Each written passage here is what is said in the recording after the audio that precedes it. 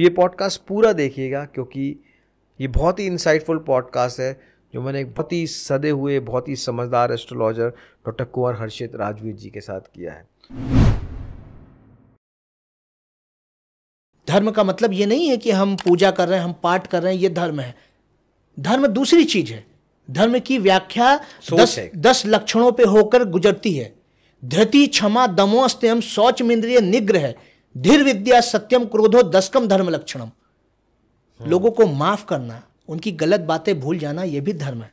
मैं भी कभी जब कुंडली दिखाने जाता हूँ तो बात होती है योग की। जी। क्या कुंडली में योग है अच्छा योग है बुरा योग है? ये योग है क्या? कई जगह आपने देखा होगा बहुत खराब तरीके से बहुत लोग बड़े ऊंचाई पे गए उतना ही गिर गए। हम्म। विजय माल्या।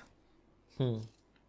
कि भाई एक समय कहते थे अरे वो भाई विजय माल्या जी हैं हम्म। ये भी करते हैं वो भी करते हैं। आज चारों तरफ़ विजय माल्या जी की बदनामी है।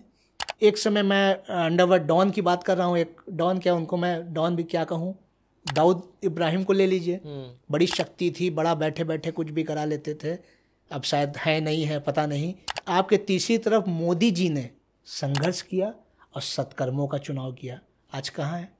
फिर हम बात करते हैं जब दोषों की बात हो जाती है फिर आती है दशाओं की बात। कहते हैं ये सूर्य की दशा चल रही है ये मंगल केतु की दशा चल रही है ये क्या चीज़ है? मैं जानना चाहता हूँ आपसे आपके दिमाग में या आपकी सोच के हिसाब से माइथोलॉजी और हिस्ट्री में डिफरेंस क्या है? जिन्होंने कृष्ण का दर्शन नहीं देखा है पाश्चात्य संस्कृति के लोग वो प्रेम की परिभाषा नहीं जानते हैं। वो श्री कृष्ण और राधा के प्रेम की संज्ञा नहीं जानते हैं वो नहीं जान पाएँगे। किस लगन के लिए कौन सा योग कारक है? जी। और एक और टर्म जो बड़ा सुनने में आता है स्विच वर्क अच्छा। है तो इंग्लिश टर्म हाँ। पर ये क्या है? कुछ समय से मैं देख रहा हूँ कि राहुल गांधी का जो परिश्रम है क्या उन्होंने वो लंबी यात्रा करी हो या उनका जो एक जुड़ाव देश से बन रहा जी, है। जी जी। कहीं ना कहीं as a astrologer as a politician क्या आप देखते हैं उनके ग्रहों में शिफ्ट आ रहा है? बिल्कुल। देखिए मुझे ऐसा लगता है कि जो एक उनकी इमेज थी वो पप्पू वाली इमेज जो चलती थी इट्स चेंजिंग जी। उनकी एक अच्छी इमेज सामने आ रही जी आप चेक करिए जो हमारे देश के प्रधानमंत्री हैं यशस्वी प्रधानमंत्री रोचक नामक पंच महापुरुष योग उनके लग्न में विराजमान है हम्म। केंद्र भाव में हम्म। प्रथम भाव में विराजमान है हम्म। देखिए उनके साहस के आगे कोई टकता दिखाई नहीं पड़ता है कितनी राजनीतिक पार्टी आए एक हुई नई सरकार बनेगी नहीं होगा अंततः तीसरी बार लगातार पीएम बने देश के तो ऐसा नहीं है कि राहुल जी उस स्थिति में आ नहीं सकते हैं उनको अपने क्रियामाण जगाने होंगे धर्म के प्रति उनको अपनी आस्था को बढ़ानी होगी वो भावना लगनी होगी। 2024 का जो आम चुनाव था ये बड़ा अलग चुनाव था। ये सिर्फ़ और सिर्फ़ मोदी जी की कुंडली और राहुल जी की कुंडली के आधार पे ये चुनाव हो गया। शादी वादी का टाइम बड़ा कॉमन आ जाता है मांगलिक दोष। जी जी। कि भाई ये लड़की मांग ले है कभी ये लड़का मांग ले है शादी नहीं हो सकती। मैं तो आजकल लव मैरिज का टाइम में तो आजकल तो लोग मांगलिक मांगलिक देखते भी नहीं जी जी। पर ये है क्या? मांगलिक दोष होना या मंगल दोष होना जी जी। ये क्या है? ये इंसान क्या है? कठपुतली है। एक आम की ही तो गुठली है। राम राम करता, कष्ट भोग मर जाता। निवस्त्र पहाड़ों पर घूमता और खाली हाथ सो जाता। ये कविता मैंने ही लिखी थी। और इस कविता से जुड़ी एक कहानी भी है जो मेरे दिमाग में तब आई थी जब मैंने कविता लिखी थी। एक आम की गुठली है। उसको एक बच्चा खाने के बाद ज़मीन पर फेंक देता है। और जब वो गुठली ज़मीन पर पड़ती है उसी वक्त बरसात होती है और उसको लगता है कि वो अब कुछ दिनों में पनप जाएगा और एक पेड़ बन जाएगा। कुछ वक्त बीतता है और वो वहीं मिट्टी में दबा हुआ पड़ा रहता है। उसे लगता है कि अब कुछ हो नहीं सकता। तभी वहाँ पर गेरुए वस्त्र में एक साधु महाराज आते हैं। वो उस गुठली के पास खड़े होकर कुछ अपनी मंत्र विद्या कर रहे होते हैं। गुठली की नज़र पड़ती है, वो कहते हैं कि महाराज, आपकी कृपा दृष्टि मुझ पर ही पड़े और आप एक बार ज़रा नीचे देखें। तो साधु महाराज नीचे देखते हैं और देख के उस गुठली को कहते हैं, बताओ गुठली तुम्हें क्या चाहिए? तो कहती कि, मैं काफ़ी वक्त से इस मिट्टी में दबी हुई पड़ी हूँ। मैं वृक्ष नहीं बन पा रही हूँ। तो उन्होंने कहा कि, इसका भी उपाय है और उपाय ये है कि हम एक यज्ञ करेंगे और तुम पनपना शुरू हो जाओगी। तो साधु महाराज ने उस गुठली के लिए वहाँ पे यज्ञ किया। गुठली के ऊपर चंदा मृत डाला गया, गंगा जल डाला गया कुछ मंत्रों का उच्चारण किया गया और कुछ समय बाद उस गुठली में से एक छोटा सा अंकुर फूल, फूट गया। धीरे धीरे करके वो थोड़ा सा बड़ा होना चालू हुआ। महाराज जी फिर वहाँ आए, उसने कहा कि महाराज जी, मुझे जल्दी बड़ा होना है। उन्होंने कहा, एक और यज्ञ करना होगा और तुम बड़ी हो जाओगी। फिर यज्ञ किया गया और धीरे धीरे करके वो गुठली जो है वो वृक्ष में तब्दील हो गई। एक बड़ा आम का वृक्ष बन गया। बस फिर क्या था? महाराज जी दोबारा वहाँ आए, उन्होंने देखा कि ये गुठली तो बहुत बड़ा वृक्ष बन चुकी है। उन्होंने उस वृक्ष के नीचे अपनी बढ़िया सी कुटिया बनाई और वहाँ पे रोज़ हवन करने लगे उस आम के पेड़ की, आम की डालियों को तोड़कर, उस हवन कुंड में डालकर अच्छा हवन शुरू होने लगा। खैर, इस कहानी के तात्पर्य कई हैं, महत्व बहुत है। लोग अपने अपने विचारों से उसको समझ सकते हैं और देख सकते हैं। आज जब इस पॉडकास्ट करने के लिए मैं घर से निकल रहा था तो मैंने जब अपना कबर्ड खोला तो मेरे पास तीन डिफरेंट चीज़ें थी पहनने के लिए। जनरली ये पॉडकास्ट में पहनता हूँ। तो मेरी एक ब्लू शर्ट टंगी हुई थी, एक गुलाबी कुर्ता टंगा हुआ था और एक ये लाल टी शर्ट टंगी हुई थी। सोचा कि पहले मैं अपनी नॉर्मल शर्ट पहन लूँ, जो मेरे डायरेक्टर साहब भी कहने लगे शर्ट पहन के आना। फिर मैंने कहा, नहीं नहीं, आज जिनके साथ मेरा पॉडकास्ट है तो शायद गुलाबी या गेरुआ कुर्ता सही रहेगा। फिर मैंने कहा, नहीं, क्योंकि आज जिनसे मुझे पॉडकास्ट करना है जब तक कि उनके साथ में एक द्वंद्व मुद्रा में ना जाऊँ, शायद ऑडियंस को उसका पता नहीं चलेगा। उस उस जो हम अंदर से सोच विचार रखते हैं, अगर मैं उनकी दिशा में ही बात करने लगूँगा तो शायद वो विचार ना मेरे बाहर आएँगे, ना उनके बाहर आएँगे। इसलिए मैंने आज लाल रंग की टी शर्ट पहनी। ये दिखाने के लिए कि हूँ तो मैं आस्तिक, पर मैं शायद आज एक नास्तिक की तरह बिहेव करूँ। आज हमारे साथ पॉडकास्ट में है एक पॉलिटिशियन राइटर स्पिरिचुअल गुरु कह सकते हैं आप उनको, कुंडलियों और दोषों ग्रहों के बारे में एक्सपर्ट जिनको कई अवार्ड्स मिल चुके हैं। अगर मैं उनके अवार्ड्स की लिस्ट बताऊँ आपको तो उनके पास नेशनल आइकॉन अवार्ड है, भारत श्री अवार्ड है एक्सलेंट आइकॉनिक अवार्ड है for ever star India award है और इंटरनेशनल ब्रिलियंस अवार्ड है। हमारे साथ हैं आज बहुत ही मज़े हुए एस्ट्रोलॉजर जिनका नाम है डॉक्टर कुंवर हर्षित राजवीर जी। तो उनके साथ हम आज डिटेल में बात करने वाले हैं ग्रहों के बारे में ग्रहों में दोष के बारे में योग क्या होता है कुंडली क्या होती है जो लोग ये सोचते हैं हम तो मंगल पे पहुँच गए हम तो चाँद पे पहुँच गए और अभी भी हम बात कर रहे हैं कि आज चाँद और मंगल हमको इम्पैक्ट डाल रहा है या राहु और केतु की कहानियों में घूम रहे हैं। तो आज हम सब कुछ डिटेल में पूछने वाले हैं कि क्या होता है हमारे कुंवर साहब के साथ। तो कुंवर साहब नमस्कार और welcome to the show of books and theories podcast thank you so much तो इंट्रोडक्शन शायद आपको थोड़ा अच्छा लगा हो। बहुत अच्छा क्योंकि आपकी बातों से ये पता चल रहा है कि कहीं ना कहीं कवित्व या कवि का एक हृदय है आपके भीतर। बिल्कुल। और आप निश्चित तौर पे चूँकि मैं मैं एक एस्ट्रोलॉजर हूँ तो एक एस्ट्रोलॉजर सामने वाले को उसके विचारों से उसके हाव भाव से उसके तरीके से उसके फेस इम्प्रेशन से भी उसकी ग्रह स्थिति को पढ़ सकता है।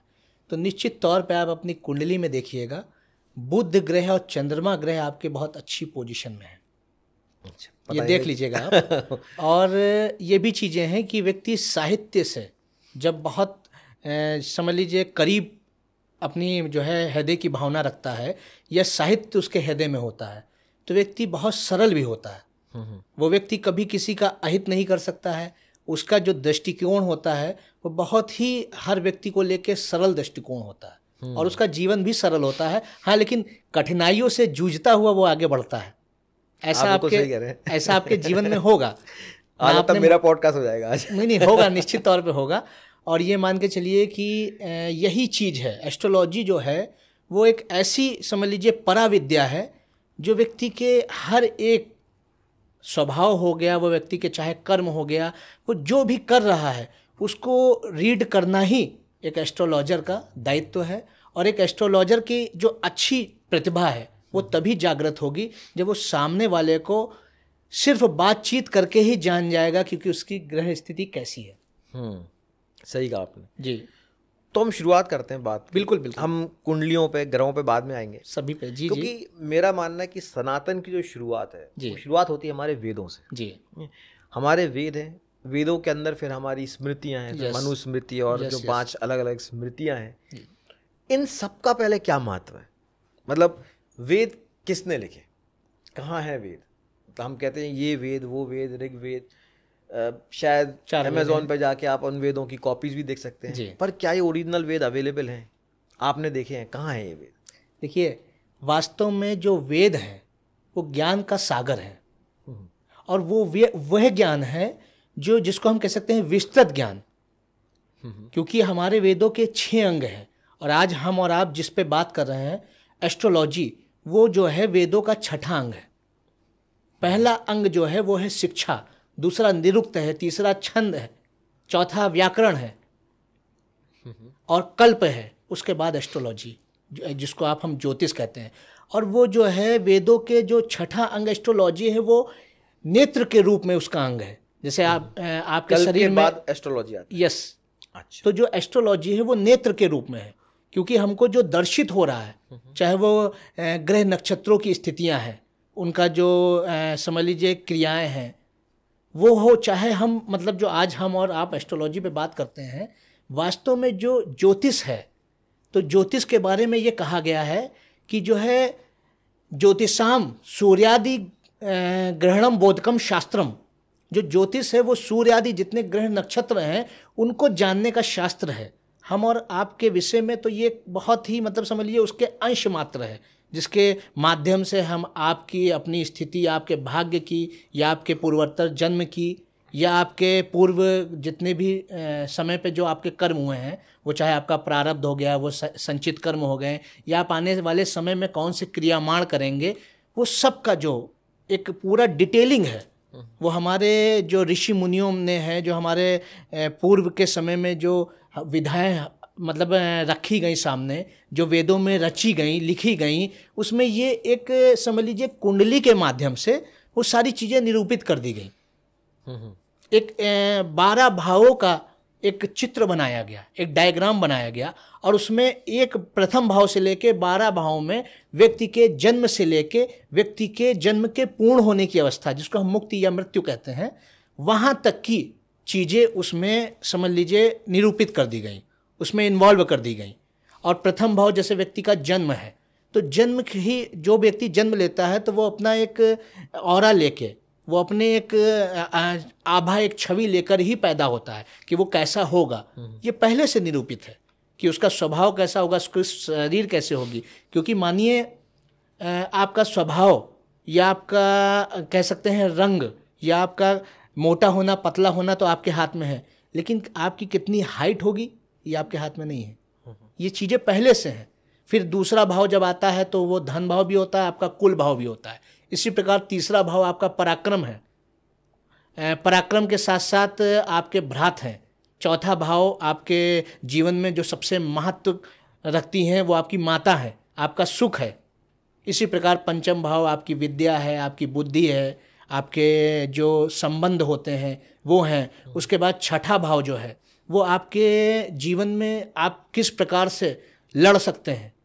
प्रतियोगिता की भावना आपके अंदर है कि नहीं है? रोग ऋण शत्रु है तो एक एक भाव के हज़ारों मतलब निकल सकते हैं अगर हम आज एस्ट्रोलॉजी पे बात कर रहे हैं तो हम सिर्फ़ एक भाव को भी अगर पकड़ के बात करेंगे विस्तृत तरीके से तो ये मान के चलिए कि दसियों पॉडकास्ट कम पड़ जाएँगे एक भाव पे बात करने के लिए हम्म, हम्म। कि अगर ये मान के चलिए कि आपका जो प्रथम भाव है वो आपका शरीर है तो आपकी जो पत्नी है उसका पति भी है हम्म। क्योंकि वह उससे सातवां भाव है इसी प्रकार अगर हम चौथा भाव अगर आप अपनी माता को मान रहे हैं तो उसी प्रकार जो दसवां भाव है अपने पिता को मान रहे हैं तो उससे सातवां भाव आपकी माता का है। तो एक ही भाव से कई सारे संदेश निकलते हैं और कई सारी चीज़ें एक भाव से निकल के आती हैं। उसी प्रकार जैसे मैंने छः भाव तक आपको बताया हम्म। सातवां भाव आपकी जीवन संगनी का भाव है। आपके लोगों से संबंध कैसे रहेंगे? कम्युनिकेशन का भाव है उसके बाद अष्टम भाव जो है वो व्यक्ति के गुण रहस्यों का भाव है व्यक्ति आयु का भाव है व्यक्ति की मृत्यु का भाव है पराविद्याओं का भाव है आप देखिएगा कि अगर अष्टम भाव में कोई आपका मज़बूत ग्रह बैठा है तो व्यक्ति जो गुण विद्याएँ हैं जैसे तमाम जो बहुत एक्सपर्ट सर्जन होते हैं हम्म। वो उनका अष्टम भाव बड़ा मज़बूत होता है और अष्टम भाव में जब मंगल कहीं ना कहीं कनेक्ट हो जाता है तो व्यक्ति सर्जरी से रिलेटेड रहता है। व्यक्ति डॉक्टर होगा। वैसे ही नवम भाव है, भाग्य भाव भी है, उसको धर्म भाव भी कहते हैं, पिता भाव भी कहते हैं। दसम भाव आपका कर्म भाव है, आपका राज्य भाव है।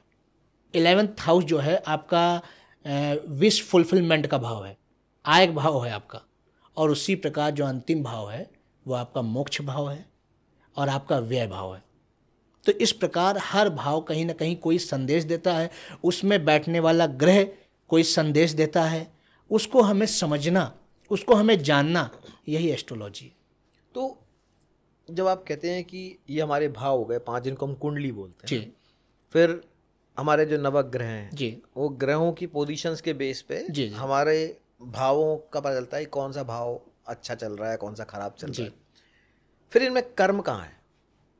हर भाव जैसे मैंने बारह भाव की संज्ञा आपको अगर मैं अगर मैं कहते हैं कि मैं अच्छा कर्म करूँ जी। मैं बुरा कर्म करूँ तो मेरे साथ बुरा होगा अच्छा कर्म करूँ तो मेरे साथ अच्छा होगा।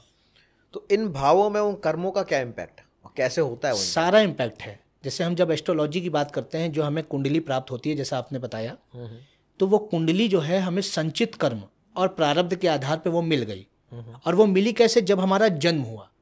कुंडली का जो स्केच तैयार होता है वो हमारे जन्म के समय जिन ग्रहों की जिन नक्षत्रों की जिस राशि पे जो स्थितियाँ थी उसके आधार पे हमारी कुंडली बन के आती है। तो वो हमारा प्रारब्ध और संचित कर्मों का जो एक समझ लीजिए रिज़ल्ट है वो हमारी कुंडली है। लेकिन उसमें छुपा है हमारा क्रियामाण कि हम आगे आने वाले समय में कौन सा ऐसा कर्म करेंगे जिससे हम अच्छी स्थिति प्राप्त करेंगे या जग में नाम करेंगे या हम बदनाम होंगे। हम्म। या हम बहुत अच्छा कोई ऐसा, ऐसा काम करेंगे कोई ऐसे योगास का समन्वय जब बनता है हमारी कुंडली में तो हम एक सामान्य परिवार में हम जन्म लेके भी हम फर्श से लेके अर्श तक की दूरी तय करते हैं।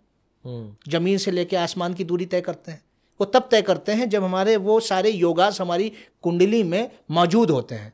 वो कर्म हमारे पहले से तय हैं। अब ये हमें निर्णय करना है कि हम जैसे आपको यहाँ से लेके हम लोग दिल्ली में बैठे हुए हैं यहाँ से आपको लखनऊ की दूरी तय करनी है। तो एक रास्ता आपका एक्सप्रेसवे का है। हम्म। दूसरा रास्ता वाया हाँ पुराना हो सकता है हम्म। आपका। तो पहुँचना तो आपको लखनऊ है। हम्म। अब आप तय करते हैं अगर एक्सप्रेसवे के माध्यम से तो वो रास्ता आपका सरल होगा आपका मतलब थोड़ा कम समय लगेगा लेकिन रिस्की रहेगा वो क्योंकि एक्सप्रेस वे है आपको स्पीड से लेके हर एक चीज़ कंट्रोल रखना होगा सब चीज़ें करनी होगी। आप दूसरा रास्ता लेते हैं तो धीमे धीमे चलेंगे, वहाँ गड्ढे होंगे या कुछ होंगी, सड़क वैसी नहीं होगी, ठीक है? तो वो चीज़ें हैं जीवन में। आपको पहुँचने का तो मतलब एक जिसका, जिस जीव का जन्म हुआ है, उसकी मुक्ति तो निश्चित तौर पे होनी है। अब मुक्ति होने तक के बीच का जो क्रम है, उसमें वो कितनी मलिन होता है, कितनी मलिन आत्मा लेके या अपना मलिन कर्म लेके बार बार वह जन्म लेता है, या एक परम शुद्ध अवस्था में आप चल, वो चला जाता है। जैसा कि कबीर दास जी ने कहा कि अगर हम मुक्ति की बात कर रहे हैं तो कबीर दास जी को ज्ञानाश्री शाखा का सर्वश्रेष्ठ कवि या सर्वश्रेष्ठ साधक या संत कहते हैं हम्म। लोग क्योंकि उन्होंने कहा कि ऐसे जतन से ओढ़ी चदरिया कि जस की तस धरदीनी चदरिया हम्म। उनका जन्म तो हुआ लेकिन वो पाप कर्मों में संलिप्त नहीं हुए हम्म। जब हम पाप कर्मों में संलिप्त होंगे तभी हमको बार बार इस जीवात्मा को जन्म लेना पड़ेगा जब आपने ऐसे जतन से ये चदरिया ये शरीर रूपी चदरिया ओढ़ी कि आपने किसी का अहित नहीं किया किसी से आपने लोभ लालच कोई ईर्ष्या द्वेष कोई ऐसे प्रकार के अपने अंदर भावना या कर्म जागृत नहीं किए तो आप जो ये महामाया या जो सृष्टि की जो माया है इसमें आप फंसे नहीं हम्म। यही जो है आपको सूक्ष्म ज्ञान या विस्तृत ज्ञान की तरफ़ ले जाने वाला यही एक मूल समझ लीजिए आप आप तक पहुँचाने के लिए एक उद्देश्य कह लीजिए या मूल मंत्र कह लीजिए। आप जो कह रहे हैं वो बहुत अच्छा है। जी। लेकिन थोड़ा सा इस पर मैं कॉन्ट्रडिक्टरी जाऊँगा। जी जी। आ, आप और हम जिस जनरेशन से आते हैं हम एटीज़ नाइन्टीज़ वाले लोग हैं आप थोड़ा यंग होंगे। जी। आ, हम इन बातों को समझते हैं क्योंकि आ, मानते भी हैं क्योंकि हमारे माता पिता ने उस समय वो बातें सिखाई हैं। पर जो आज की जनरेशन है वो जो देखती है वो उस पर विश्वास कर जी। वो जो यूट्यूब पर देखती है ओ टी टी पर देखती है उनके सामने जो चीज़ अवेलेबल है वो उन पर विश्वास करती है। माता पिता पर तो आजकल वैसे ही बच्चे कम विश्वास जी। एक अहम सवाल आता है जो वो रियल लाइफ में देखते हैं। ऐसे लोग जिनके कर्म अच्छे नहीं हैं। जी। जो शायद घूस ले रहे हैं बुरे काम कर रहे हैं। पर अपनी लाइफ में सारी लग्जरीज को पा रहे हैं। ये चीज़ वो बच्चे देखते हैं। जी। आप तो खुद ही पॉलिटिशियंस हैं आप ऐसी इंडस्ट्री से भी जुड़े हैं जहाँ आपने ऐसे लोग भी देखे होंगे जो बहुत अच्छे हैं जी। और ऐसे लोग भी देखे होंगे जो बहुत गलत काम करके भी उस पोजिशन पर जी। इसमें कोई छुपा नहीं है इसलिए मैं ऐसे ऊपर भी बोल रहा हूँ। किसी का नाम लेना नहीं चाहता। पर हमने देखे हैं कितने फ्रॉड्स और स्कैम्स होते हैं। जी। बुरा किसी का नहीं होता। वो अपनी लाइफ लग्जरी जी रहे हैं। ज़्यादा ज़्यादा होगा तो सुप्रीम कोर्ट उनको दो चार महीने के लिए जेल में डाल देगी। बाद में ज़मानत मिल जाएगी बाहर आ जाएँगे पैसा वहीं का वहीं रहता है। कोई पैसा तो कोई मिलना है ही नहीं। जी बिल्कुल। ये इम्प्रेशन बच्चों पे पड़ता है। जी। कहीं वहाँ कहीं वो देखते हैं। जी। तो यहाँ आके फिर ग्रह कुंडली सब कहाँ चली जाती है? जी। कि भाई कर्म तो उनके जो थे वो हो रहे हैं लेकिन जीवन तो जी लिया ना। जी। अब अगले जन्म में क्या होगा वो तो अगला जन्म देखेंगे। जी। इसमें आपके क्या विचार है? देखिए मैं सबसे पहले तो यहाँ उदाहरण देना चाहता हूँ आपको कली काल का। हम्म। जो वर्तमान में जो चल रहा है ये कलयुग है। हम्म। और हम लोग धीरे धीरे कली काल की तरफ़ बढ़ रहे हैं। उसका ग्रास बन रहे हैं। कलयुग की तरफ़। कलयुग की तरफ़। क्योंकि हम सबसे पहले तो जब सतयुग से कलयुग के बीच की दूरी जो तय है वो हमारे संस्कारों की है। वो सत्य की दूरी है। अब आप असत्य की तरफ़ जा रहे हैं आपके जैसे ऐसे संस्कार हो रहे हैं जैसे प्राचीन समय में आपने देखा होगा माता पिता का स्थान गुरु का स्थान सर्वोपरि था। हम्म। अब गुरु नाम की चीज़ नहीं रह गई है। हम्म। आप जिससे ज्ञान भी अर्जित कर रहे हैं आप जिससे शिक्षा भी ले रहे हैं उसके साथ भी आपका ऐसे संबंध नहीं है कि आप इतना आदर इतना सम्मान उसके प्रति ऐसी डिग्निटी बनाए हुए हैं उसकी कि वो चीज़ें आपको दर्शित हों। माता ने जन्म दिया पिता ने समझ लीजिए जन्म से लेके संस्कार से लेके पूरे जीवन की दूरी उसी ने तय की हम्म। लेकिन उसके प्रति भी वो आदर भावना नहीं है। लेकिन एस्ट्रोलॉजी की जब हम बात करते हैं तो आज आप एटीन नाइन्टीज़ की बात कर रहे हैं। आज 12 साल का से लेकर 14 साल के बच्चे भी एस्ट्रोलॉजी में की तरफ़ आकर्षित हो रहे हैं और वो अपनी कुंडली 14 वर्ष से ही दिखाना प्रारंभ कर देते हैं। वो 16 वर्ष से रिलेशन को लेकर चिंतित हो जाते हैं। वो पूछने लगते हैं कि हमारी कैसी क्या अवस्थाएँ चल रही हैं कौन सी ऐसी दशा या कुछ चल रहा है जो हम इतना ज़्यादा मानसिक पीड़ित है। मानसिक पीड़ित। हम्म। बात समझिएगा। क्योंकि आर्थिक और शारीरिक तो उनके माता पिता उनके भगवान उनके ऊपर कृपा बनाए हुए हैं। मानसिक पीड़ित वो मानसिक पीड़ित वो कलयुग की तरफ़ जो जा रहे हैं कली काल की तरफ़ जो बढ़ रहे हैं कलयुग आपके मस्तिष्क पे ही प्रभाव करता है। हम्म। विचारों पर ही प्रभाव करता है। और जो ब्रह्मांड है ये हमारा ये ब्रह्मांड ये जो मस्तिष्क है ये हमारा ब्रह्मांड है। इसमें हर प्रकार के ग्रह हैं हर प्रकार की गैलेक्सी हैं। तो ये सारी चीज़ें हमारे मस्तिष्क से ही होके गुजर रही हैं। और जिन्होंने संस्कार की चादर ओढ़ ली है या संस्कार का कवच पहन लिया है या धर्म और सनातन संस्कृति के जो रक्षा कवच पहन के बैठे हैं उनके ऊपर ये चीज़ें नहीं आ रही हैं। दूसरा आपका क्वेश्चन ये भी था कि तमाम लोग स्कैम कर रहे हैं अच्छी लाइफ जी रहे हैं। आप कोई एक ऐसा व्यक्ति नहीं दिखा सकते हैं जो खराब कर्मों से हो के गुजरा हो और उसका अंत अच्छा हुआ हो। नहीं हो सकता है। हम्म। जितनी आर्टिफिशियल चीज़ें हैं वो आर्टिफिशियल ही हैं जितनी नेचुरल चीज़ें हैं वो नेचुरल ही हैं। जो हमारे सनातन संस्कृति में हमारा धर्म अर्थ काम मोक्ष की संज्ञा दी गई है हम्म। इसी से व्यक्त होकर व्यक्ति गुजर सकता है। हम्म। एक धार्मिक व्यक्ति धर्म का मतलब ये नहीं है कि हम पूजा कर रहे हैं हम पाठ कर रहे हैं ये धर्म है। धर्म दूसरी चीज़ है। धर्म की व्याख्या दस दस लक्षणों पे होकर गुजरती है। धृति क्षमा दमोस्त्यम शौच मिंद्रिय निग्रह धीर विद्या सत्यम क्रोधो दसकम धर्म लक्षणम। लोगों को माफ़ करना उनकी गलत बातें भूल जाना ये भी धर्म है। स्वच्छ रहना सत्य का पालन करना आदर करना सम्मान करना ये भी धर्म है। ये वास्तव में धर्म के दस लक्षण है ये हमारे वेदों में बताया गया हमारे वेदों में कोई ऐसी चीज़ें नहीं बताई गई हैं कि ए, मतलब जो समझ लीजिए अननेचुरल हो। सारी नेचुरल प्राकृतिक चीज़ें हैं प्रकृति से जुड़ना संस्कारों में अच्छे संस्कार लाना और हमारी वही उसी का बेस है हमारी एस्ट्रोलॉजी हमारे एस्ट्रोलॉजी में ये भी बताया गया है कि कैसे नौ ग्रह आपके अच्छे हो सकते हैं हम्म। हाँ ये बात अलग है कि आप किसी भी परिवार देख लीजिए किसी भी जिला देख लीजिए तहसील देख लीजिए राज्य देख लीजिए देश देख लीजिए या विश्व देख लीजिए वहाँ पे आपको हर प्रकार के लोग मिलेंगे हम्म। बहुत से लोग नेचुरल उत्पाद बेच भी रहे हैं और बहुत से लोग नेचुरल चीज़ें यूज़ भी कर रहे हैं हम्म। लेकिन आजकल का जो चीज़ें हैं वो कलीकाल है तो आर्टिफिशियल चीज़ें ज़्यादा हैं वो मैंगो की जो जूस की एक ऐड आ जाता है जिसमें कोई एक एक्ट्रेस वो जूस पीते हुए दिखाते हैं उनके होठ पे से। वो आम का जो है रस गिर जाता है तो हाँ। तो उसको देख के लोग उसको पीने लगते हैं। नेचुरल हम्म। मैंगो जो होता है उसको बाग से बगीचे से तोड़ के वो खाने में वो विश्वास नहीं है। हम्म। लेकिन वो जो पी रहे हैं वो क्या है? वो कद्दू का रस है। कद्दू शक्कर है। वो शक्कर है। तो उस वो चूँकि उसकी एक ब्रांडिंग हुई है। उन चीज़ों को मतलब सामने लाया गया उसके ऊपर इन्वेस्ट किया गया है एक्ट्रेस हम्म। को दिया गया है पैसा वो चीज़ें अब हृदय में आ गई हम्म। अब चूँकि कलयुग भी चल रही है मति भ्रष्ट है बाद में उसी का वो लीवर में प्रॉब्लम हो रही है वो स्वास्थ्य से संबंधित आ रही है और वो जो नेचुरल मैंगो है उसको छोड़ दिया हम्म। तो जो नेचुरल चीज़ें जब हम अपने धर्म को धारण करके चलेंगे जब अपने वेदों का अध्ययन करेंगे हमारे ऋग्वेद हो गया साम वेद हो गया यजुर्वेद हो गया हमारा अथर्वेद हो गया हम इन चारों वेदों के अट्ठारह पुराणों को लेके चलेंगे तब हम निश्चित तौर पे जीवन को बहुत सरल और एक ऐसा जीवन बनाएँगे जो आदर्श जीवन होगा हम्म। जैसा कि हमारे समझ लीजिए जो अट्ठारह पुराण है उसमें कहा गया है अष्टादश पुराण मतलब जो अट्ठारह पुराण है तो उसमें यही कहा गया अष्टादश दशा पुराणेशु हम्म। व्यासस्य वचन द्वयम परोपकाराय पुण्याय पापाय परपीडनम। जो परोपकार है जो पुण्य है वही आपको जो कहते नहीं पुण्य है वही परोपकार है। हम्म।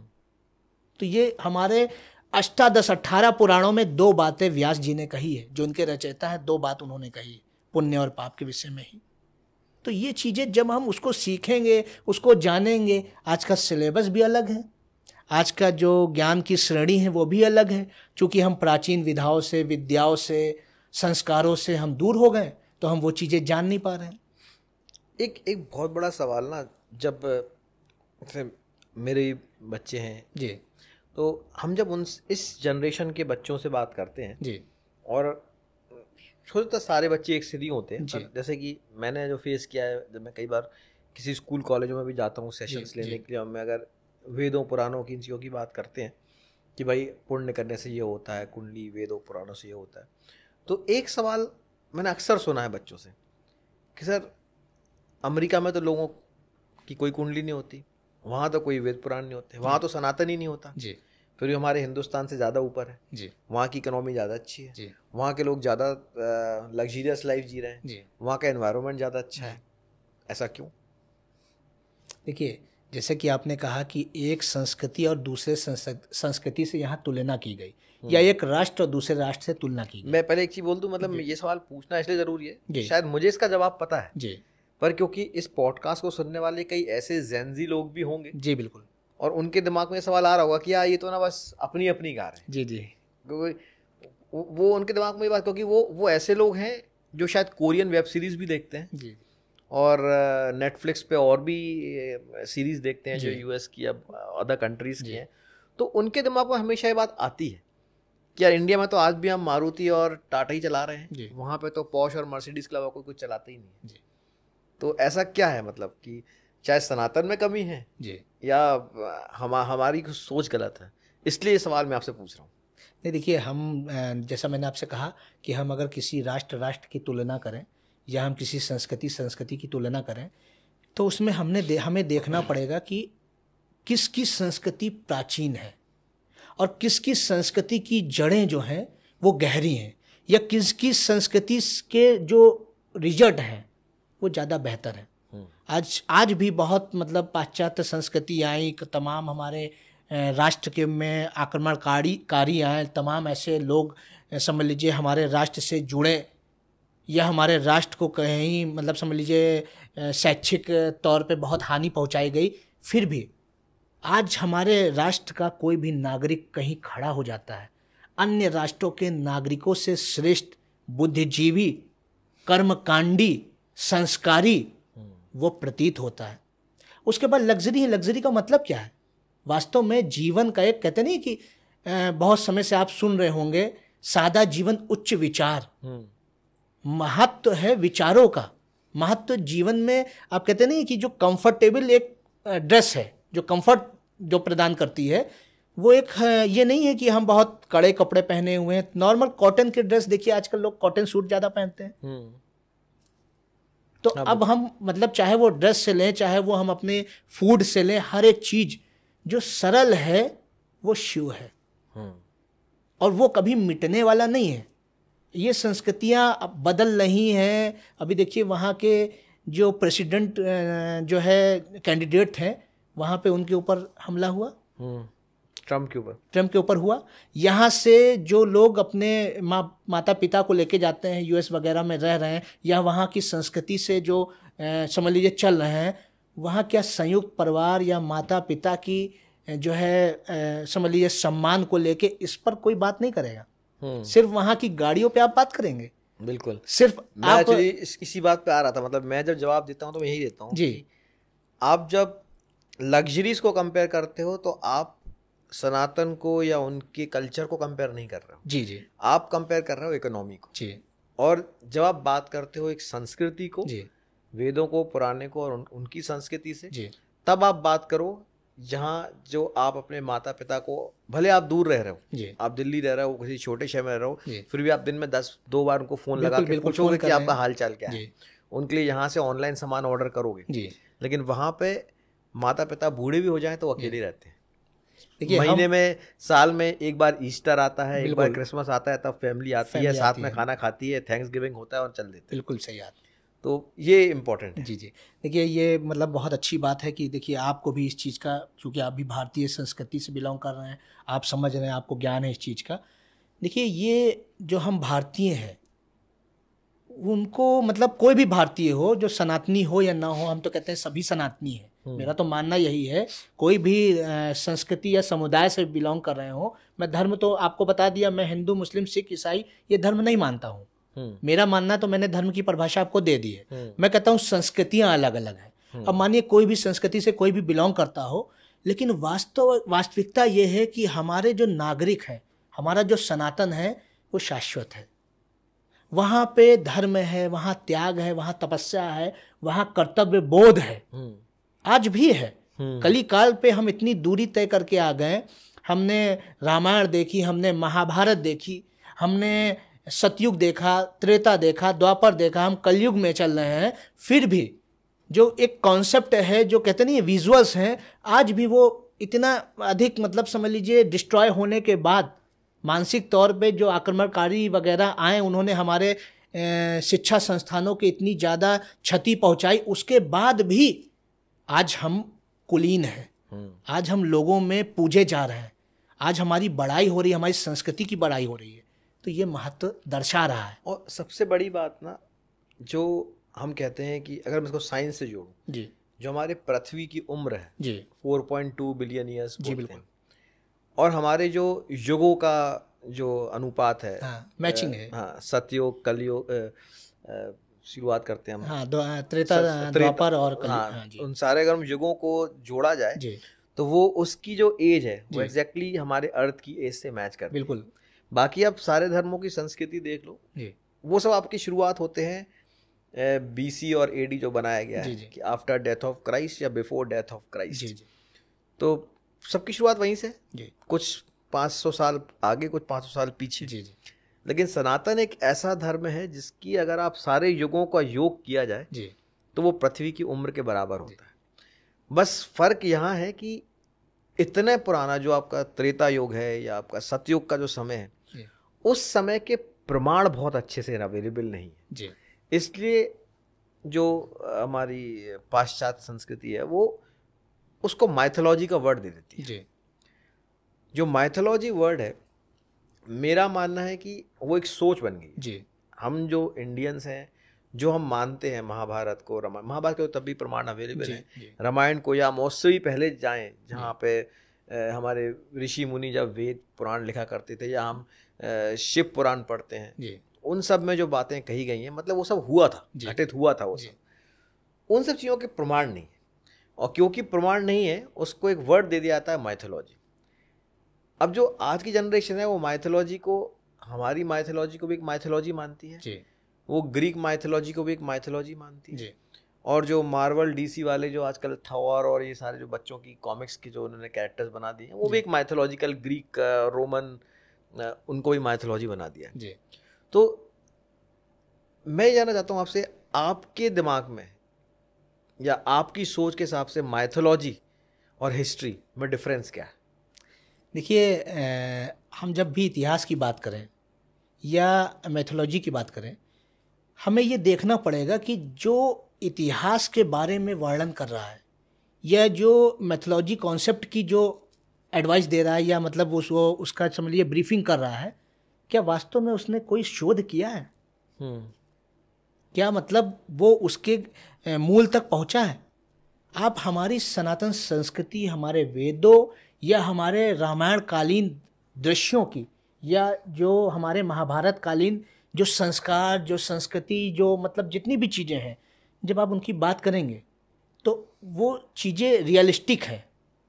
क्योंकि जो संस्कार है वो ही मतलब दर्शा देते हैं कि व्यक्ति भूतकाल में कैसा रहा होगा वर्तमान में चीज़ें कैसी हो रही हैं हम्म। अब आप जैसे आ, हमारी सनातन संस्कृति के बगैर जो भी संस्कृति की आप बात कर रहे हैं आप ये निश्चित जान लीजिए जो सनातन है वो श्रेष्ठ है वो सत्य है और वो शाश्वत है हम्म। अन्य जगह आप पाखंडों से भरी उनके जो भी मतलब धार्मिक स्थान मैं नहीं कहूँगा या उनके जो केंद्र बिंदु है वहाँ आप पाखंडवाद पाएँगे हम्म। हमारे यहाँ कोई पाखंड नहीं है हमारे यहाँ। बताया गया है कि सनातन संस्कृति है क्या हमारे यहाँ रामायण कालीन जो दृश्य बताए गए हैं आज जब आप मैथोलॉजी की बात कर रहे हैं आप जब हिस्ट्री की बात कर रहे हैं हिस्ट्री के मैं एक छोटा सा बिंदु आपको बता रहा हूँ कि जैसे कोई चीज़ जब समझ लीजिए विभ्रंश हो गई है जब कोई सभ्यता किसी का मतलब कालखंड के कारण या किसी कृत्य के कारण जब वो नहीं रह गई है। आज हमारे राम मंदिर पर भी प्रश्न उठा। हम्म। नहीं था उसके अवशेष थे लेकिन वो जागृत नहीं था। अब आपके पूर्वजों का जहाँ पे आपके पूर्वज रहते होंगे किसी आप पंजाब में बिहार में बंगाल में या दिल्ली में आपकी तीन मंजिली या दो मंजिल मंजिल बिल्डिंग होगी। बहुत बड़ा घर होगा जहाँ लकड़ी के नक्काशी किए हुए खंभे होंगे। आने वाली जो दूसरी पीढ़ी होगी अगर आप उससे कहेंगे कि यहाँ पे मेरे पूर्वजों का बहुत बड़ा मकान था और दिल्ली जैसे शहर में मतलब समझ लीजिए प्रदेश में हमारे पास समझ लीजिए एक बीघे का मकान था और जहाँ पे ये बाग था बगीचा था यहाँ पे लकड़ी के बड़े बड़े खंभे लगे थे वो भी उस बात को कल्पना ही मानेंगे। वो वो मतलब वास्तविकता नहीं मानेंगे। सही कह रहे हैं। क्योंकि वो उनको दर्शित नहीं हो रहा है ना। वो हमारे रामायण कालीन जो कर्म है वो राम का दर्शन वो राम का चरित्र नहीं दर्शित हो रहा है किसी को। हम्म। राम का चरित्र क्या था? अपनी सौतेली माता या अपने पिता को जो उनकी माता ने वचन वचन दिया था उसके कारण उसको निभाने के लिए अपने सुख ऐसो आराम अपना राजपाट सब त्याग के चौदह वर्ष के लिए बन गए थे। हम्म। चौदह वर्ष के लिए। चार दिन के लिए नहीं जाएगा कोई। एसी एयर कंडीशन की जो एक एटमॉस्फेयर है उसको छोड़ के चार दिन अगर धूप में रहने को आप, नहीं मिलेगा आप कह देंगे आप कह देंगे कि माता का इलाज यहाँ से हो जाएगा सगी माता का। ऐसा नहीं है। उस राम के गुण को भी आत्मसात करने वाले उनके दर्शन को भी आत्मसात करने वाले लोग हैं। हम्म। लेकिन जो नहीं मान रहे वो नहीं जाएगा।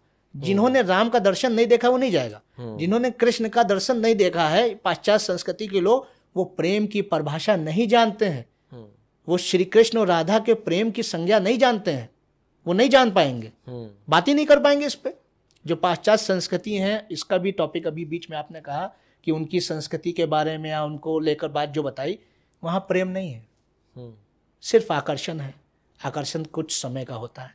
हमारे यहाँ शाश्वत प्रेम की हमारे यहाँ शाश्वत धर्म की हर जगह परिभाषा है। युगो युगों में बताया गया है कि धर्म क्या है। हम्म। प्रेम क्या है।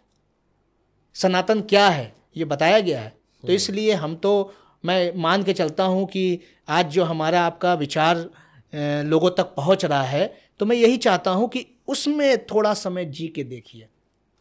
वो जीवन अमूल्य हो जाएगा। वो जीवन अमिट हो जाएगा।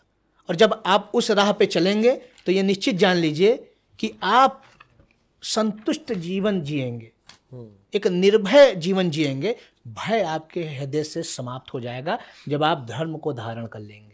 जब आप ऐसे दर्शन देख लेंगे जो चाहे वो हमारे महाभारत कालीन हो रामायण कालीन हो या हमारे पूर्व कुछ समय के तो ये चीज़ें हैं और वो चीज़ें हमको प्राप्त हमारे वेदों से हुई हैं हमारे संस्कृति से हुई है और हमारे चाहे मतलब जो भी चीज़ें हैं वो हमको एक कुलीन व्यवस्था देती हैं।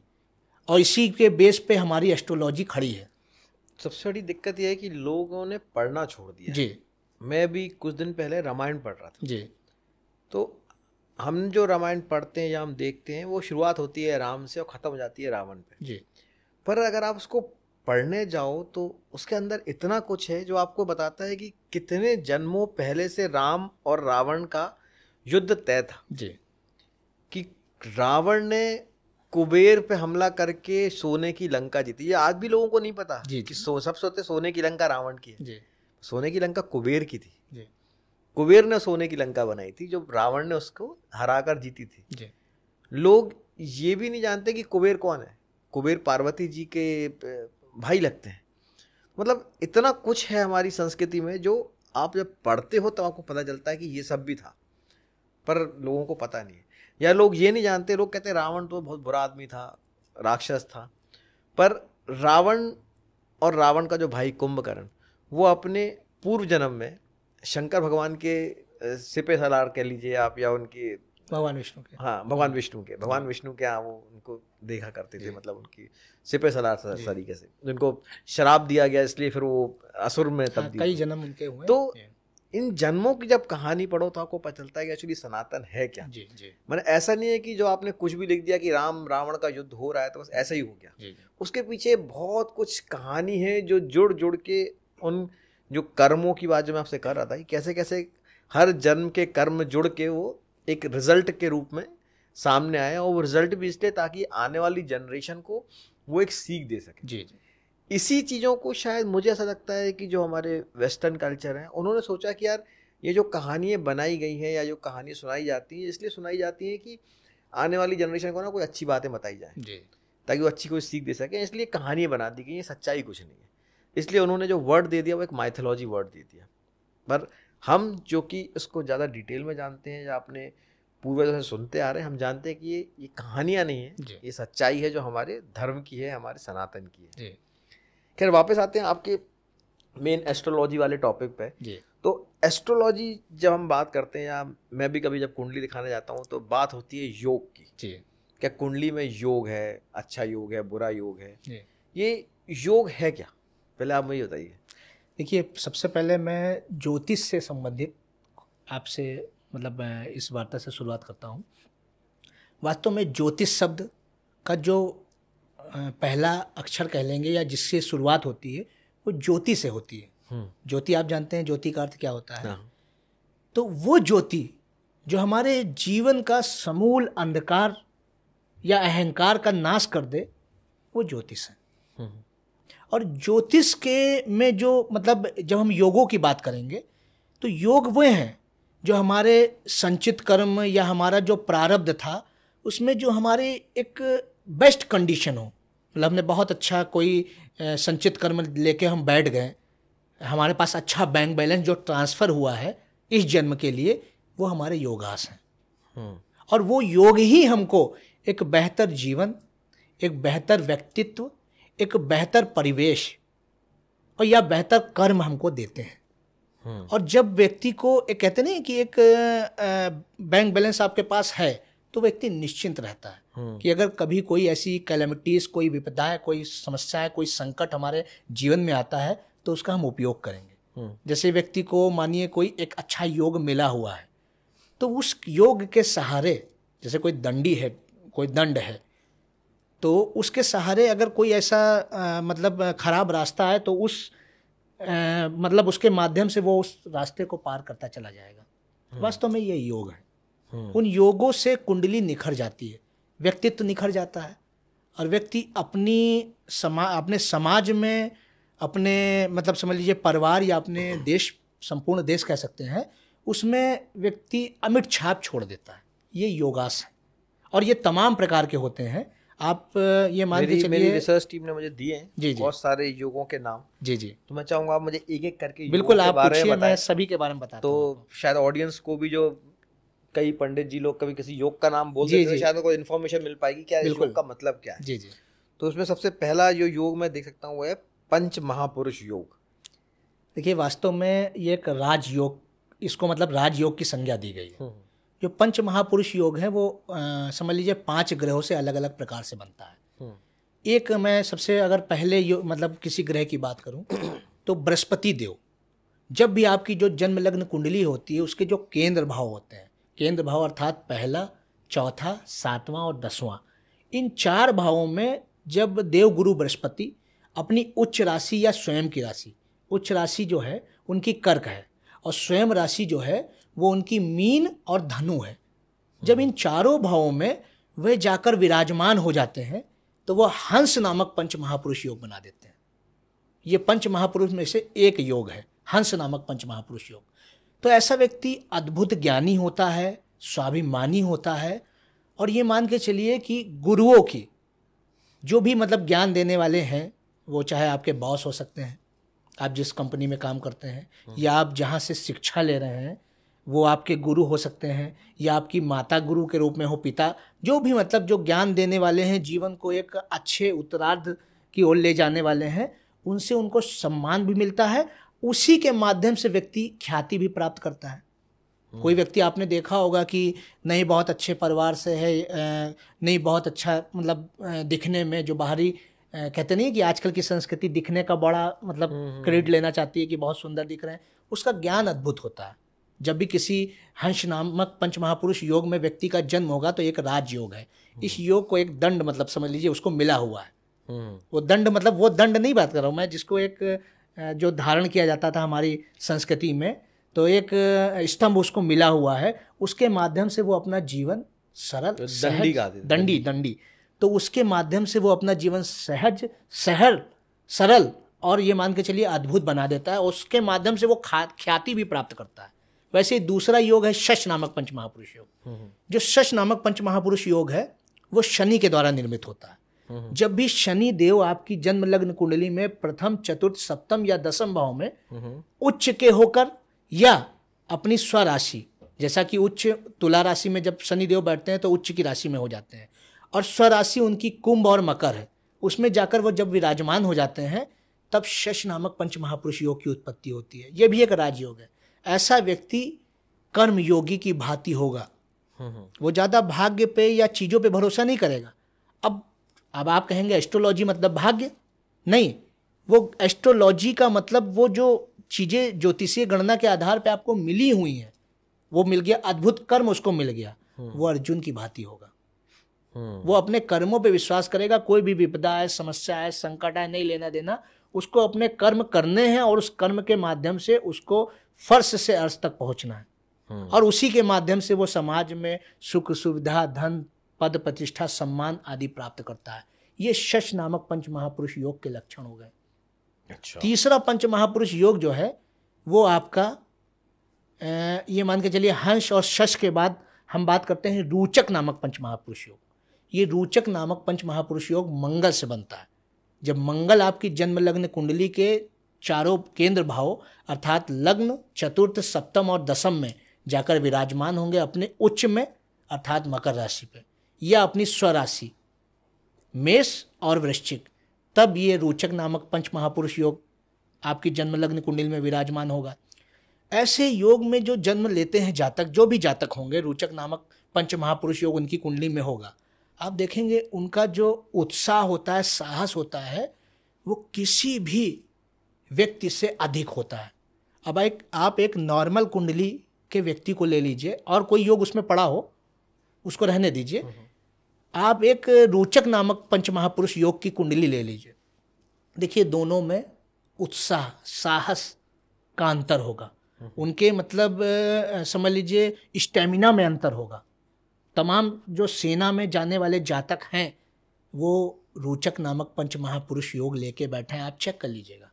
ये हमारी एस्ट्रोलॉजी जैसे हमारे आपके द्वारा बनाया हुआ विज्ञान जब ये प्रमाण की बात करता है प्रमाण देता है तो हमारी एस्ट्रोलॉजी भी दशाओं महादशाओं गोचर अवस्थाओं और योगों और दोषों के माध्यम से प्रमाण देती है बस हमको देखना आना चाहिए हम्म।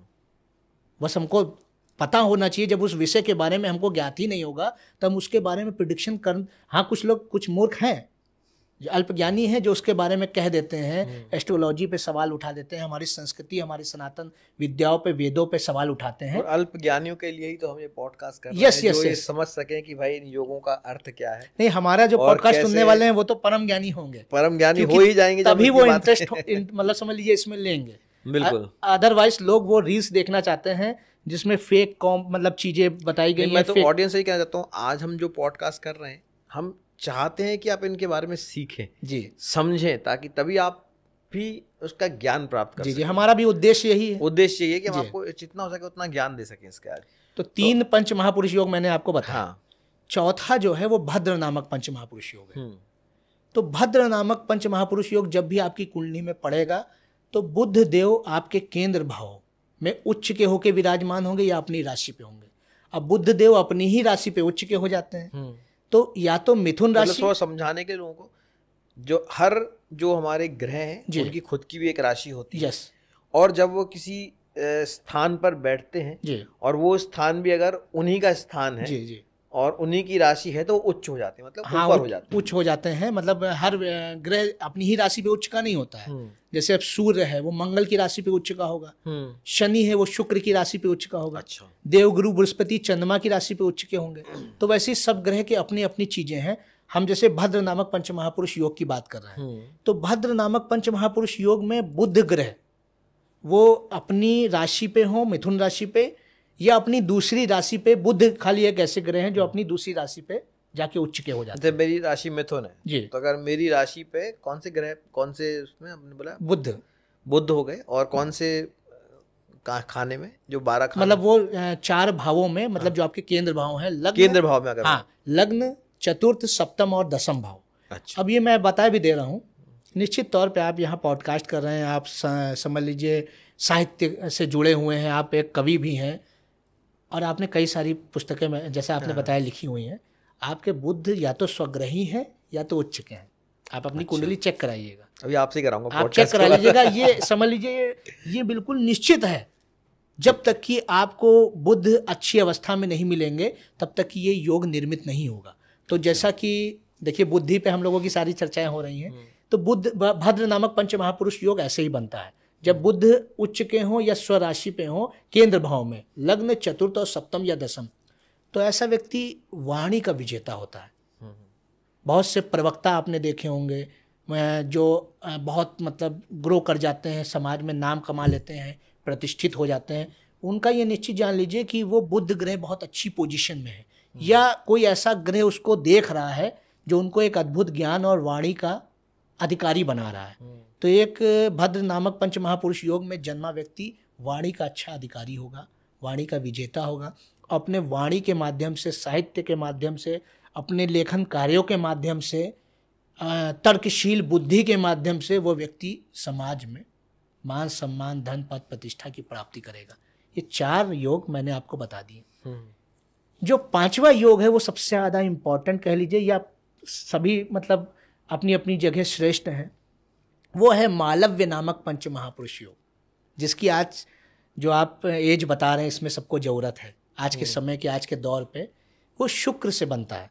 शुक्र जब अपनी जन्मलग्न कुंडली में स्वराशि वृष और तुला और उच्च राशि मीन में जाकर केंद्र भाव में लग्न चतुर्थ सप्तम और दसम में जाके विराजमान होते हैं तब मालव्य नामक पंच महापुरुष योग बनता है। इस महापुरुष इस योग में जन्मा जातक पहले अंदर पहली बात तो उसके अंदर लग्जरी को लेके बहुत मतलब एक अलग भावना होगी वो लग्जरी लेने के लिए ही पैदा होगा। और वो अपने सौंदर्य के माध्यम से अपने आकर्षण के माध्यम से अपने ये मान के चलिए कि शुक्र के जितने भी तत्व हैं उसके कारण वो अपनी सारी इच्छाओं की पूर्ति कर लेगा और वह व्यक्ति महत्वाकांक्षी अवश्य होगा। इन हम्म। योगों से ये चीज़ें मिल रही हैं। ये एक पंच महा... हो गए पंच महा हाँ पंच महापुरुष में योग। में ये पाँच महापुरुष योग है जो कि राजयोग की संज्ञा जिनको दी जाती है। अच्छा फिर एक अलग से राजयोग भी होता है जिसमें आपका जो मैं अगर पढ़ पा रहा हूँ तो जो आपके योग कारक जो होते हैं जो जी, वो राजयोग के अंदर ही आते हैं ना? हाँ तो देखिए तो वो अलग है इनसे? जी जी तमाम प्रकार के राजयोग हैं। जैसे आप जिस राजयोग की बात कर रहे हैं कई प्रकार के हैं जैसे कि अब मान के चलिए गज केसरी भी एक राजयोग है। जैसे मैंने पंच महापुरुष योग बताया वो भी एक राजयोग है। और एक राजयोग मतलब बहुत समझ लीजिए महत्वपूर्ण होता है जो आपकी लग्न है। लग्न आप समझते होंगे जो प्रथम भाव में जो राशि होती है वही लग्न होती है आपकी। तो जो लग्न है आपकी उस लग्न का जो योग कारक ग्रह होता है वो या तो उच्च का हो या तो स्वराशि में हो। उच्च का मतलब क्या होता है? मतलब उच्च का मतलब वो एक फेवरेट पोजिशन फेवरेट पोजिशन का उच्च कहते हैं। उच्च कहते हैं। अब जैसे चंद्रमा जो है वो शुक्र भाई चंद्रमा भी एक समझ लीजिए ऐश्वर्य या एक सौंदर्य या मतलब आकर्षण का ग्रह है हम्म। और शुक्र भी। तो शुक्र की प्रथम राशि पे जब जाके विराजमान होता है तो उसका मेल बिल्कुल अच्छा खाता है कि अब मैं बहुत मौज में हूँ। हम्म। यहाँ पे वो फुल मतलब समझ लीजिए इंजॉयमेंट में या फुल सेटिस्फाई होता है। तो वहाँ पे कौशल और कैटरीना कैफ एक साथ आ गए मतलब। हाँ कह सकते हैं आप। कि जो है वहाँ पे वो उच्च का हो गया। वैसे ही जैसे शुक्र है तो शुक्र भी चूँकि राक्षसों के गुरु हैं शुक्राचार्य। वो देवताओं के गुरु के राशि पे जाके उच्च के हो जाते हैं वैसे सूर्य है, राजा है अब राजा जो है कहाँ पे कंफर्ट में होगा वो अपने सेनापति के साथ मतलब मंगल के साथ। उत्साह जिसके पास है, जिसके पास अद्भुत साहस है, राजा को क्या चाहिए राजा के बगल में जो बैठा हो तो वो साहसी हो, वीर हो तो मंगल को इसकी संज्ञा दी गई है तो वो मंगल की प्रथम राशि मेष राशि पे जाके सूर्य उच्च के हो जाते हैं ये वास्तव में उच्च और नीच होने का कारण है अच्छा। वैसे नीच होने के भी कारण है अपने अपने हम्म। कि जैसे बृहस्पति है वो मकर राशि में जाके नीच के हो जाते हैं हम्म। अब बृहस्पति की जो स्वराशि है वो है धनु और धनु से जो द्वितीय भाव है वो जो है मकर राशि है तो जब भी बृहस्पति देव है उनको धन से क्या लेना देना हम्म। बृहस्पति ज्ञान के समझ लीजिए कारक है। जी तो उनको ये है कि चीज़ें उनको मतलब ज्ञान से संबंधित चीज़ें अच्छी लगती हैं। तो जब धन की बात आती है तो वो नीच के हो जाते हैं कि नहीं मुझे धन से क्या लेना देना? मेरे लिए तो ज्ञान सर्वोपरि है। ये हमारी एस्ट्रोलॉजी की कैलकुलेशन है यह हमारे सूत्र हैं यह हमारी इक्वेशन है। ये हम्म। हमारे जो सुपर साइंटिस्ट हैं वो हमें दे के गए। हम्म। मतलब हमारे जो वेदों में जो ऋषि मुनियों ने जो इतनी बड़ी बड़ी कैलकुलेशंस करी हैं एक्चुअली ये सारा जो कैलकुलेशंस ही है एक मैथमेटिक्स है जो हम इसको ज्योतिष विद्या कहते हैं। जी जी। इसी कड़ी में हम आगे बढ़ते हैं अगर तो एक आपका आता है गज केसरी योग। जी जी। वैसे इसका नाम मैंने कम सुना है जी। पर ये क्या है मतलब? नहीं ये ये बहुत मतलब समझ लीजिए उत्तम योग है। अच्छा।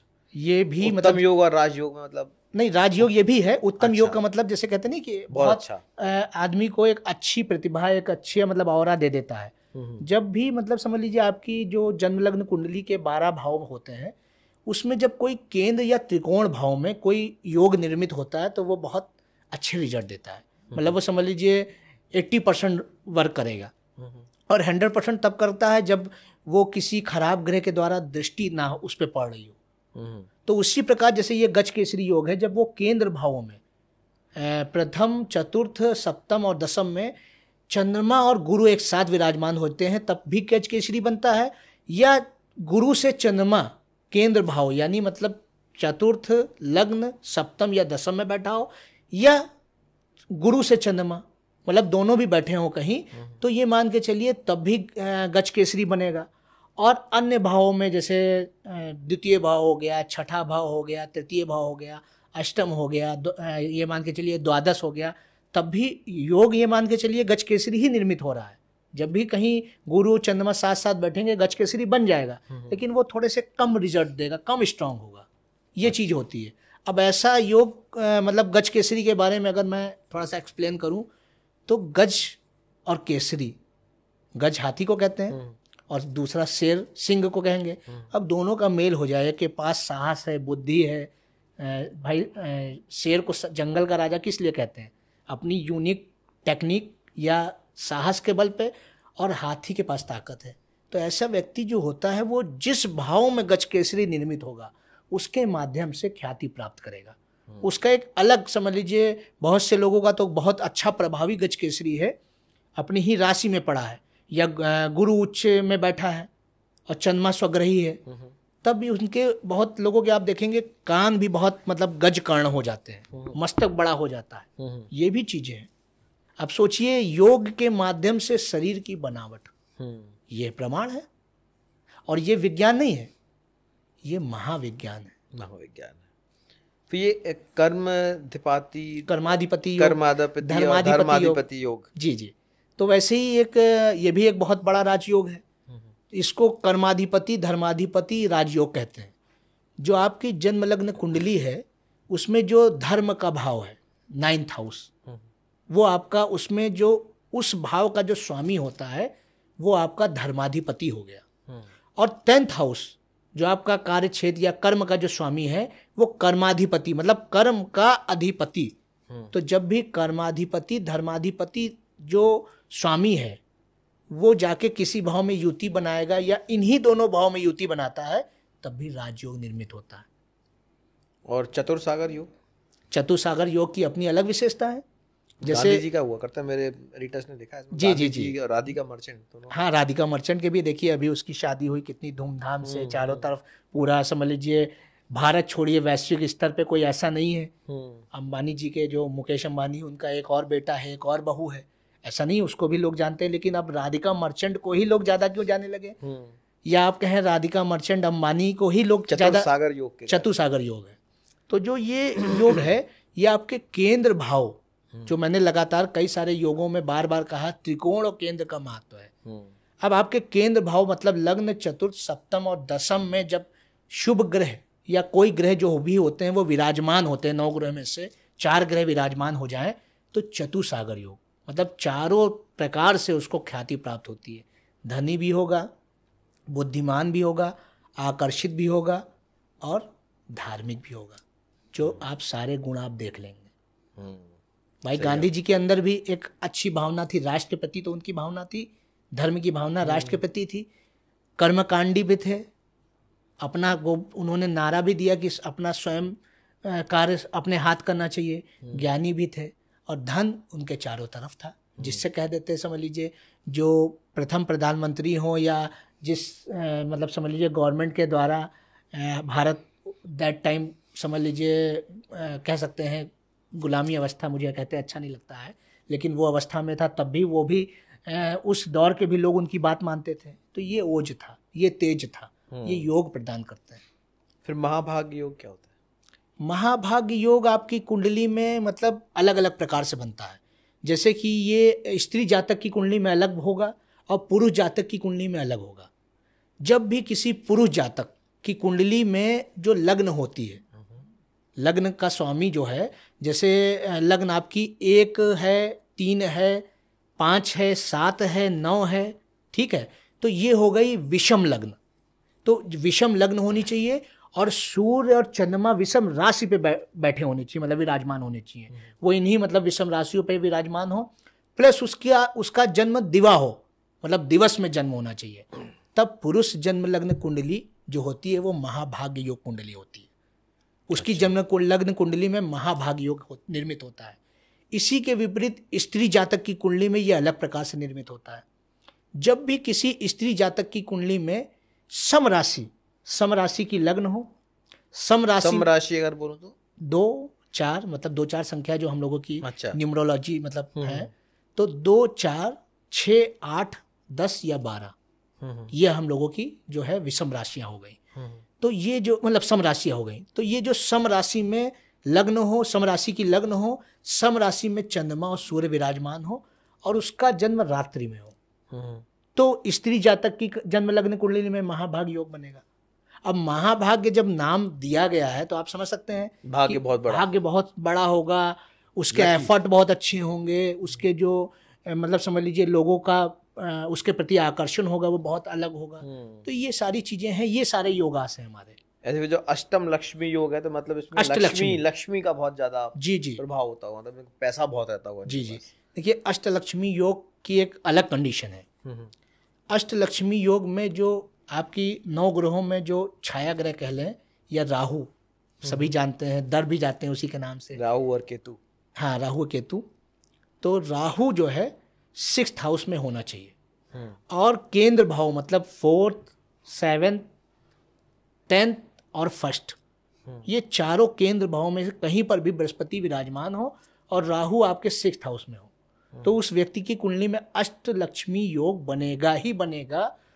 और वो व्यक्ति जब भी राहु की महादशा अंतरदशा से गुजरेगा तो वो वहाँ पर राहु कार्य करते हैं आठ प्रकार से लक्ष्मी आपको प्रदान करेंगे हम्म। महा मतलब धनाढ़ भी होता है ऐसा व्यक्ति और तमाम जो समुद्र मंथन था उसी में से लक्ष्मी लक्ष्मी जी चौदह रत्नों में से एक रत्न का भी लक्ष्मी जी कहा हाँ। जाती हैं कही जाती हैं हम्म। तो ये मान के चलिए जो ये अष्टलक्ष्मी योग है ये उसी माध्यम से बनता है जब राहु छठे भाव में और देव गुरु बृहस्पति आपके केंद्र भाव में जो धन देने के हैं मतलब जो धन के दायक हैं धन से वो कंफर्ट नहीं रहते हैं हम्म। मगर वो दायक हैं तो वो जब बैठ जाते हैं तो ये अष्टलक्ष्मी योग बन जाता है। और एक और आपका योग होता है सुनफा अनफा दुरुधरा। दुरुधरा। जी जी। देखिए सुनफा अनफा दुरुधरा ये सब चंद्रमा से बनते हैं। अच्छा। चंद्रमा सबसे सौम्य ग्रह है। आप जानते ही हैं चंद्रमा हम्म। मन है कितनी जल्दी भ्रमित हो जाता है भटक जाता है हम्म। कितनी जल्दी व्यक्ति भावुक हो जाता है। हम्म। ये सब चंद्रमा के कारकत्व है। चंद्रमा का एक और है कारकत्व या कह सकते हैं माता। माता भी हमारी कितनी भावुक होती हैं। पुत्र पे कोई बात आए कुछ हो तो वो कितनी जल्दी भावुक हो जाती हैं। तो इसीलिए कहा गया है कि जब भी चंद्रमा के अगल बगल मतलब उसके द्वादश भाव और उससे द्वादश भाव और उससे द्वितीय भाव में दोनों ग्रह विराजमान होंगे तो जाके आपका दुरुधरा बनेगा। दुरुधरा दोनों धाराओं पे। दोनों धारा। हाँ। ठीक है। हाँ और आपका जब सुनफा और अनफा जब चंद्रमा द्वादश होगा हम्म, हम्म। और जब द्वितीय होगा तो सुनफा और अनफा बनेगा। अच्छा।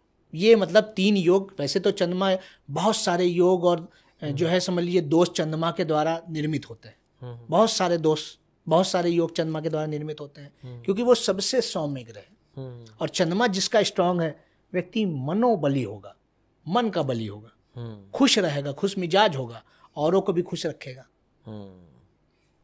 हाँ चंद्रमा मतलब शीतल कहते हैं शीतल मन वाला हाँ मतलब व्यक्ति का मनोरंजन में मन बहुत लगेगा और व्यक्ति मनोरंजन करने वाला भी होगा हम्म। तमाम आप फ़िल्म स्टार की कुंडली देखेंगे तो उसमें आप देखेंगे कि चंद्रमा बहुत अच्छी पोजीशन में है जो मतलब सक्सेस हैं जो मतलब एक अच्छा मतलब रिज़ल्ट दे रहे हैं तो उनका चंद्रमा अच्छा होगा शुक्र अच्छा होगा उनका शनि अच्छा होगा उनका बुद्ध अच्छा होगा ये चारों ग्रह उनके अच्छे आपको दिखाई पड़ेंगे। अच्छा। और हमारी आपकी दुनिया में या जो हमारी जो पॉडकास्टर्स कह सकते हैं या जो बहुत जल्दी लोग उसको देखना और सुनना पसंद करते हैं उनके लिए राहु अच्छा होता है। अच्छा। जब आपको राहु आपकी जन्मलग कुंडली में अच्छा है और जिनका नहीं अच्छा है वो उसको अच्छा बनाएँ। हम्म। उसको अच्छा बनाने के भी नियम हैं हम्म। तरीके हैं। तो उसको उस तरीके से जब अच्छा बनाएँगे तो ये मान के चलिए कि वो सक्सेस बहुत जल्दी देगा हम्म। राहु का यही काम है उथल पुथल मचाना जब हम्म। व्यक्ति के जीवन में उथल पुथल होती है अब सार्थक उथल पुथल होगी तो व्यक्ति सक्सेस प्राप्त ही करेगा हम्म। और ये क्या होता है आपका वैसी वासी वैसी वासी भगवान सूर्य के द्वारा सूर्य ग्रह के द्वारा निर्मित होता है अच्छा ये जब भी जब समझ लीजिए सूर्य से द्वादश और द्वितीय यही शर्त जैसे चंद्रमा के योगों में लगी है वैसे ही सूर्य में सूर्य से द्वादश या द्वितीय जब भी कोई ग्रह विराजमान होता है। हाँ इसमें राहु केतु और शनि का मतलब थोड़ा सा वो कहा गया है कि ये उसके माध्यम से वो चीज़ें नहीं बनती हैं वो योग नहीं निर्मित तो मतलब जो योग वर्ड है जी। एक दोष होता है एक योग होता है। तो योग मतलब वो योग सारे प्रॉफिटेबल होते हैं। जी जी। अगर आपको योग है योग का मतलब एक से एक जब जुड़ जाता है तो हाँ तो प्लस जिसको प्लस प्लस मतलब योग अगर है आपकी कुंडली में तो, तो वो पॉजिटिव पॉजिटिव पॉजिटिव पॉजिटिविटी रहेगी भी और पॉजिटिव रिज़ल्ट जीवन भर मिलेंगे भी। मिलेंगे भी। आपके कहीं गुण पॉजिटिव होंगे कहीं आपका भाग्य पॉजिटिव होगा। लक्ष्मी आएगी। तो जैसे कि जब कोई दोष होता है जी। या कुंडली कुछ खराब चल रही होती है तो हम पूजा पाठ यज्ञ या कोई चीज़ करके उनको सही कर लेते सही करते हैं। तो ऐसे ही मान लो मेरी कुंडली में पंच महापुरुष योग नहीं है। जी। पर मुझे लग रहा है क्या मेरे ना इस लिस्ट में ये होना चाहिए। ये होगा तो बड़ा अच्छा होगा। जी। तो क्या मैं ऐसी कोई चीज़ कर सकता हूँ जिससे कि ये मेरे योग में आ जाए? जी बिल्कुल या कुछ कुछ क्रिया करके मैं गज केसरी योग ले आऊँ या ऐसे कुछ एक्टिविटीज़ करके हम इन योगों को ला सकते हैं अपने बिल्कुल बिल्कुल देखिए वास्तव में जो एस्ट्रोलॉजी है उसमें क्रिया माणों को स्वतंत्र दिया गया है। हम्म। जैसे आप कहते नहीं कि पहुँचना तो है रास्ता कौन सा है? रास्ते का चयन आपका है। हम्म। जैसे हमारी गीता भी इसी पर बेस है कि कर्म का चयन आपका है। हम्म। हाँ ये करना है तुम्हें।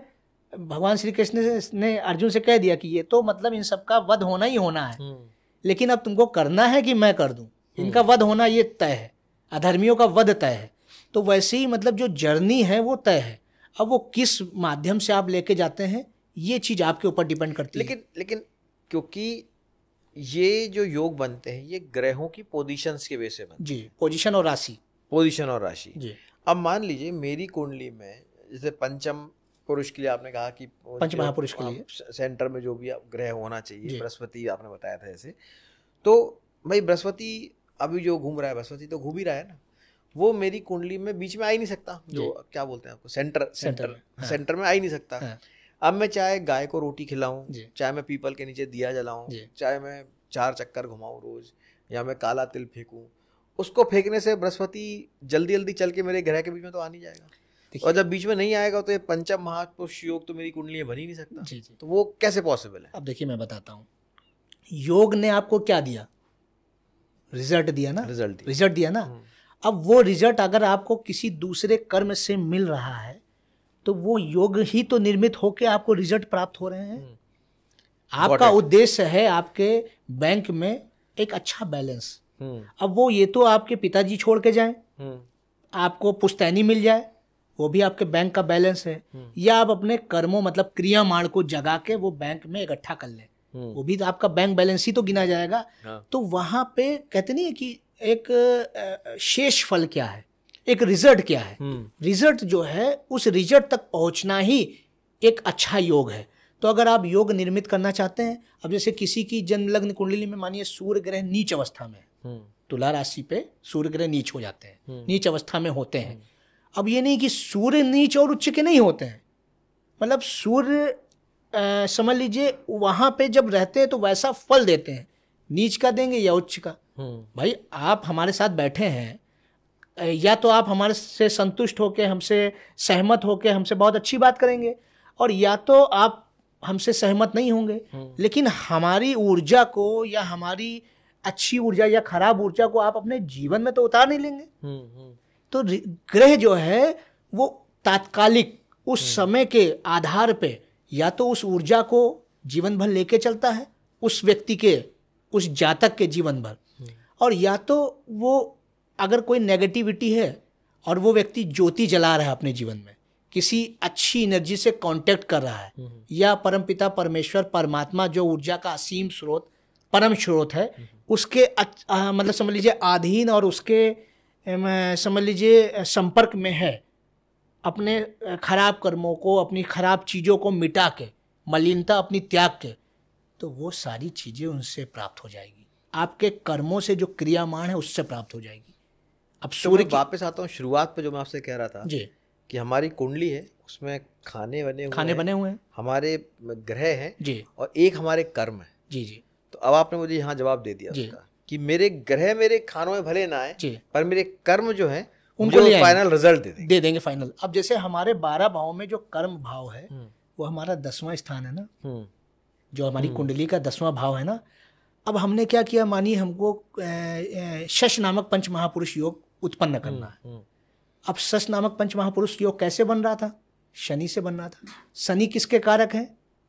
कर्म के कारक हैं न्याय के कारक हैं। अनुशासन के कारक हैं।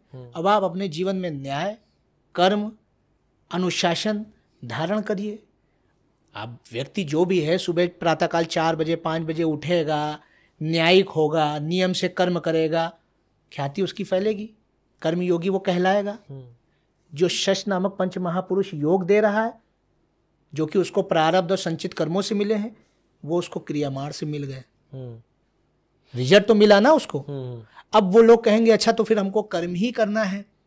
तो जो है हमको कुंडली से क्या मतलब है? हम्म।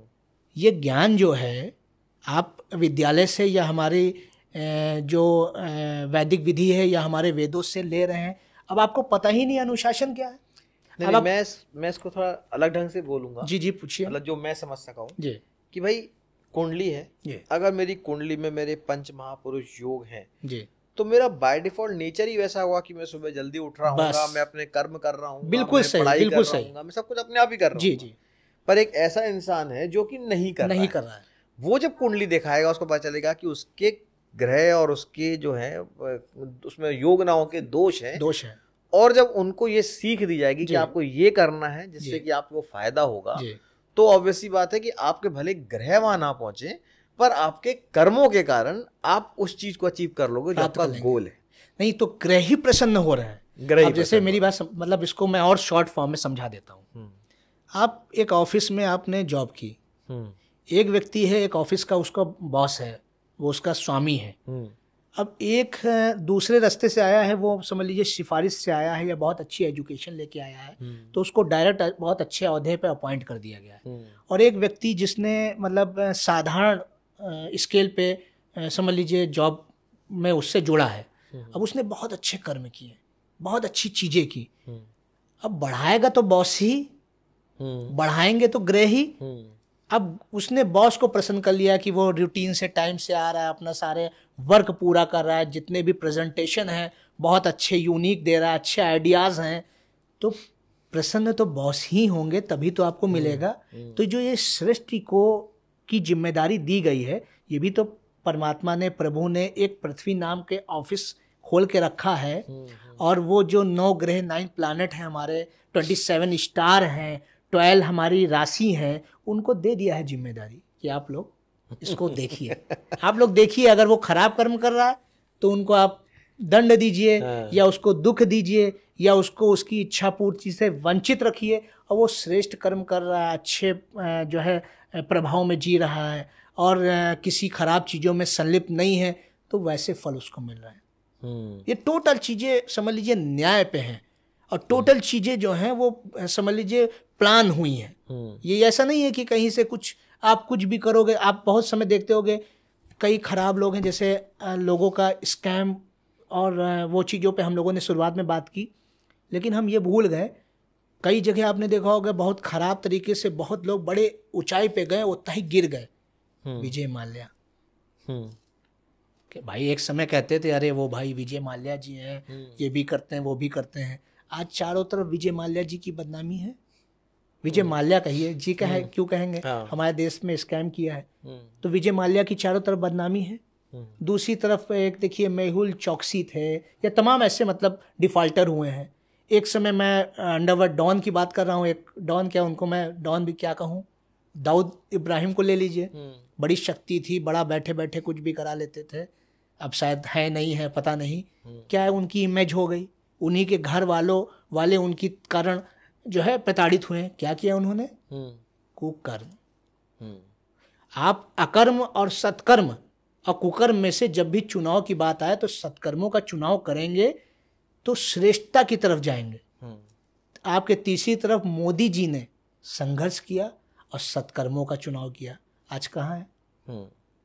वैश्विक पटल पे उनको हर सम्मान दिया जा रहा है। आज सोवियत संघ रशिया ने देखिए सर्वश्रेष्ठ सम्मान से उनको सम्मानित किया। हम्म। किसके कारण? उन्होंने अपने क्रियामाण को जगाया। हम्म। ऐसे योगास वो अपनी कुंडली में लेके आए हैं। हम्म। आप चेक करिए जो हमारे देश के प्रधानमंत्री हैं यशस्वी प्रधानमंत्री रूचक नामक पंच महापुरुष योग उनके लग्न में विराजमान है केंद्र भाव में प्रथम भाव में विराजमान है। देखिए उनके साहस के आगे कोई टकता दिखाई नहीं पड़ता है। कितनी राजनीतिक पार्टी आए हुई नई सरकार बनेगी नहीं होगा अंततः तीसरी बार लगातार पीएम बने देश के। और उसी ऊर्जा से उसी तेज से उसी वेग से हिंदुस्तान को देखिए एक नई पहचान दिला रहे हैं। हम्म। महान भारत को एक नई ऊर्जा एक नए आयाम पे लेके जा रहे हैं। हम्म। ये है हमारी एस्ट्रोलॉजी में जो हमारे फ़ंक्शन दिए हैं हमारे जो इक्वेशन दिए हैं हमारे जो मेथड्स दिए हैं जो समीकरण दिए हैं वो ये हैं। थोड़ा सा पॉलिटिक्स के बारे में पूछूँगा। किसी भी बारे में मतलब पूछिए। मैं तो आज आपके लिए आपके प्रश्नों का उत्तर देने के लिए बैठा हूँ। एज ए लीमैन क्योंकि आप मोदी जी की बात कर रहे थे। जी। तो as a layman as a Indian citizen कुछ समय से मैं देख रहा हूँ कि राहुल गांधी का जो परिश्रम है चाहे उन्होंने वो लंबी यात्रा करी हो या उनका जो एक जुड़ाव देश से बन रहा है। जी जी। कहीं ना कहीं as a astrologer as a politician क्या आप देखते हैं उनके ग्रहों में शिफ्ट आ रहा है? बिल्कुल। देखिए मुझे ऐसा लगता है कि जो एक उनकी इमेज थी वो पप्पू वाली इमेज जो चलती थी इट्स चेंजिंग जी। उनकी एक अच्छी इमेज सामने आ रही जी। देखिए मैं इस पर थोड़ा सा बता रहा हूँ। अगर राहुल गांधी जी में अगर ये मान के चलिए कि बहुत अच्छे क्रियामाण मतलब उसको हटा दीजिए संचित कर्म और प्रारब्ध बहुत अच्छे होते तो वो एक समझ लीजिए एक संचित कर्मों के माध्यम से उनको जन्म तो एक बहुत अच्छी जगह मिल गया हम्म। लेकिन वो वेग कांग्रेस बना नहीं पाई कि जो हम्म। उनको एक भाई प्रधानमंत्री बनने की इच्छा एक वो पूरी हो जाती या वो दैट टाइम समझ लीजिए उनके हाथ में सत्ता थी भी राहुल जी प्रधानमंत्री बन भी सकते थे लेकिन योगास उनकी कुंडली में दैट टाइम नहीं थे। फिर हो सकता है वो किसी एस्ट्रोलॉजर के या किसी ऐसे संत महात्मा या किसी मतलब उसको मतलब वो बताने वाले व्यक्ति के उसमें परामर्शदाता के उसमें संपर्क में आए हों तो उन्होंने बताया हो कि आप कर्म पे ध्यान दीजिए हम्म। आप पंच महापुरुष योगों में से सच नामक पंच महापुरुष योग अपने अंदर पैदा कीजिए तो वो देखिए कितने मतलब एक्टिव हुए हैं हम्म। लेकिन अभी वो योग उनकी कुंडली में बना नहीं हम्म। क्योंकि उन्होंने वो धर्म का दामन थाम नहीं पाए उन्होंने समय समय पे वो हिंदू पे प्रश्न उठा दिया। उन्होंने हमारी संस्कृति या तमाम मतलब एक व्यक्ति या से लेके एक सरकार को घेरने के चक्कर में एक पार्टी को घेरने के चक्कर में वो उस मूल को घेर लेते हैं। वो जड़ को घेर लेते हैं। वो संस्कारों को भूल जाते हैं। अब आपने पॉलिटिक्स की बात छेड़ दी है तो मैं थोड़ा सा बता देता हूँ। ये जो चुनाव था बड़ा दो हज़ार चौबीस का जो आम चुनाव था ये बड़ा अलग चुनाव था। ये हम्म। सिर्फ़ और सिर्फ़ मोदी जी की कुंडली और राहुल जी की कुंडली के आधार पे ये चुनाव हो गया हम्म। मंगल के दिन रिज़ल्ट आया हम्म। मोदी जी की मंगल की महादशा चल रही है और मंगल उनका लग्न का स्वामी है और मंगल के माध्यम से ही रोचक नामक पंच महापुरुष योग बना हुआ है उनकी कुंडली में हम्म। दूसरी तरफ़ राहुल गांधी को देख लीजिए हम्म। उन्होंने धर्म का वो धारण नहीं कर पाए जो भी उनका वेल विशर या उनको जो परामर्श देने वाला था वो गाइडेंस देने वाला वो ये गाइडेंस नहीं दे पाया कि हमारे यहाँ संस्कार क्या है। राहुल गांधी उसी समय चुनाव हार गए थे जब उन्होंने एक समझ लीजिए चुनावी सभा में एक वही समझ लीजिए जल पिया और वही सर जल अपने मस्तक पर डाल लिया आप देखिएगा वीडियो हम्म, हम्म, आप चेक करिएगा। हमारे यहाँ ये कहा गया है कि मतलब मस्तक पे ब्रह्मांड है हमारा। और भाई मस्तक सबसे ऊँचा प्रभु ने इसीलिए दिया है। वहाँ पे जूठा जल आपने डाल दिया। उसी जगह आप मोदी जी के संस्कारों में सनातन कूट कूट के भरा हुआ है व्याप्त है। राम मंदिर की स्थापना होती है तो वह निर्जला व्रत रहते हैं दूसरी तरफ़। तो ऐसा नहीं है कि राहुल जी उस स्थिति में आ नहीं सकते हैं। उनको अपने क्रियामाण जगाने होंगे। धर्म के प्रति उनको अपनी आस्था को बढ़ानी होगी वो भावना लगनी होगी। किसी पर प्रश्न नहीं किया जाता है हम्म। आप जिस संबंध में ज्ञान रख नहीं रहे हैं या तो आपने सनातन संस्कृति आपने हमारे संस्कृति आपने हमारे वेद हमारे उपनिषद हमारे पुराण या हमारे हिंदुत्व के बारे में पढ़ा होता हम्म। तब आप उस पर प्रश्न लगाते तो हम्म। ठीक था। तो वहाँ पे वो ये कहते नहीं कि परफॉर्मेंस अच्छी देते देते वो रह गए ये एक्चुअल चीज़ें हैं और ये जो भी व्यक्ति, हर व्यक्ति एक न एक समय एस्ट्रोलॉजी के समीप आता ही आता है, ये मैं लिखित शब्दों में दे सकता हूँ। लिखित दे सकता हूँ। हर व्यक्ति एक न एक समय ऐसी उसके अंदर भावना जागृत होती है जब ग्रह स्थितियाँ, चाहे वो महादशाओं के माध्यम से हो या ग्रह गोचर के माध्यम से। तब जब आता है तो वो एस्ट्रोलॉजी के पीछे संस्कृति, सनातन के पीछे, हमारे धर्म के पीछे, यज्ञों के मतलब पीछे या कह लीजिए या वो उपाय कराने वो आता ही आता है। ना मानने वाले भी आते हैं नास्तिक भी आते हैं। मैं आपको हम्म। बता दूँ बीस बीस वर्षों से नास्तिक अपनी भावना जागृत किए हुए तमाम लोग आए अपनी कुंडली दिखाने। उससे पहले उन्होंने कभी कुंडली ही नहीं बनवाई थी। हम्म। और फिर जब वो चारों तरफ़ से समस्याओं ने उनको घेर लिया तो उनको कुछ समझ नहीं आया कि क्या करें। तब देखा गया किस ग्रह की महादशा चल रही थी और छोटे छोटे उपायों ने उनका जीवन बदल दिया। हम्म। ये है हमारी समझ लीजिए वेदों की ताकत ये है एस्ट्रोलॉजी की ताकत। मैं बता रहा हूँ आज का पॉडकास्ट इतना इंटरेस्टिंग है कि मतलब जो लोग वैदिक इन चीज़ों में विश्वास रखते हैं उनको मेरे ख्याल पूरा सुनना चाहिए। क्योंकि हमने केवल ये नहीं किया कि लोगों को बताया है कि भाई आपकी कुंडी में ये हो गया या आप ये कर लीजिए या आप घर के दाएँ कोने मंदिर लगा लीजिए या ये भगवान हटा दीजिए ये भगवान रख लीजिए जी। हमने उनको वैदिक नॉलेज दी है। जी। पूरी इन्फॉर्मेशन दे दी आपने उनको आज कि एक्चुअली एस्ट्रोलॉजी वर्क कैसे करती जी। और जब किसी को ये ज्ञान हो जाता है कि एस्ट्रोलॉजी वर्क कैसे करती है तो वो अपनी एस्ट्रोलॉजिकल फैक्ट्स को अपनी लाइफ में इम्प्लीमेंट कर सकता है अपनी लाइफ को बेहतर बनाने के लिए। जी। और आपने बहुत ही शानदार तरीके से टाइम देते हुए ना एक एक चीज़ बहुत अच्छे से एक्सप्लेन की है। पॉडकास्ट काफ़ी लंबा हो चुका है पर मैं व्यूअर्स से रिक्वेस्ट करूँगा कि आप भले टुकड़ों में देखिए पर चीज़ों को समझ समझ के देखिएगा। एक एक चीज़ को जो उन्होंने लास्ट में ए, सारे कारकों को बताया है हर एक एक लग्न के बारे में हर एक राशि के बारे में बताया है कि किस राशि के लिए क्या किया जाए। आप उसको आराम से तसल्ली से सुनिए और धीरे धीरे करके उनको अपनी लाइफ में इम्प्लीमेंट करने की कोशिश करिए।